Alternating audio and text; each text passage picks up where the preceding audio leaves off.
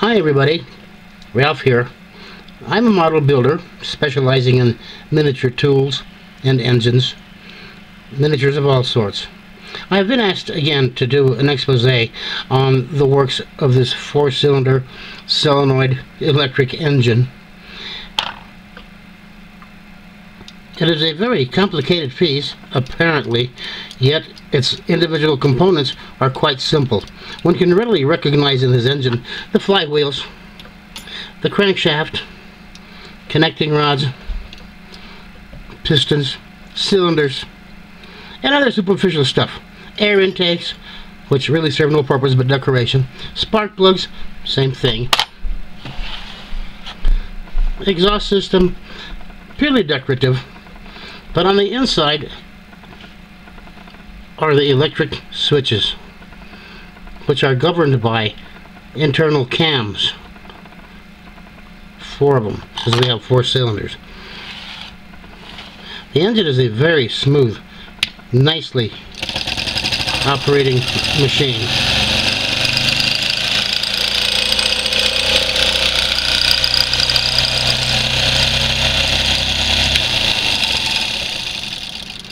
I've been asked about its speed. I've clocked it at 2300 RPMs and yet it's very easy to regulate in that I've added additional switches, one for each cylinder, so that we can test the efficiency of each cylinder, etc.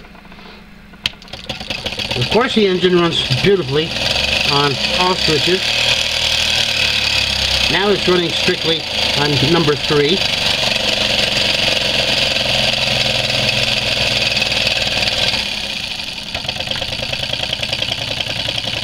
You throw in number 4, it'll pick up RPMs. Throw in number 2, more RPMs. Throw in number 1, they're all working fast. At the front, we have a rheostat, which also allows us to regulate speed, adding to the complexity of the electrical parts. Of course, the main switch and the pilot light all are wired in uh, to this engine. The electronic parts are basic, simple switches. For example, we have a switch hooked up to a battery, power source of some sort, hooked up to a coil, and back to the other end of the switch. Each one of these cylinders has an additional switch in here somewhere to let it operate by itself. There is also a power light somewhere in here that allows the pilot light to go on. The schematic is a compilation of simple switches, four of them, married to the mechanics of the engine. Here we have the cylinders the solenoids labeled 1, 2, 3, and 4.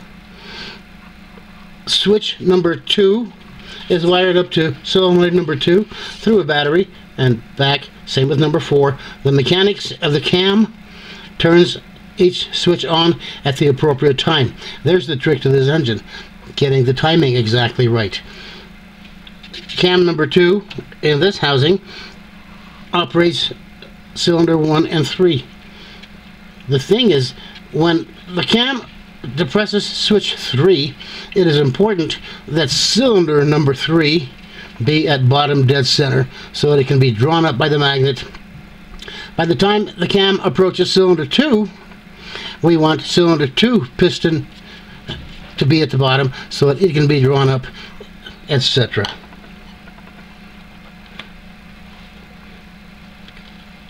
Simple mechanics married nicely to simple electronics. And I should say, simple electricity. There's no solid state devices here, switches, wires, that's about it. On the inside,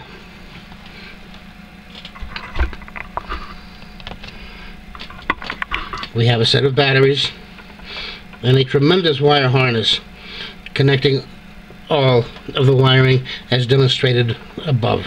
I chose to use 4 9 volt batteries. Other power sources also uh, will work.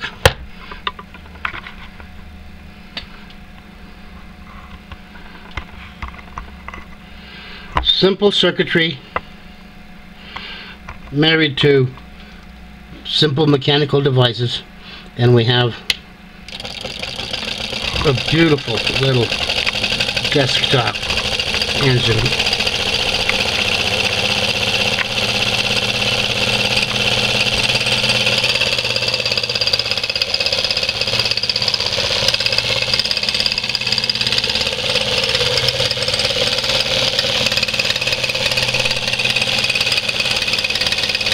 this is Ralph saying thanks for watching.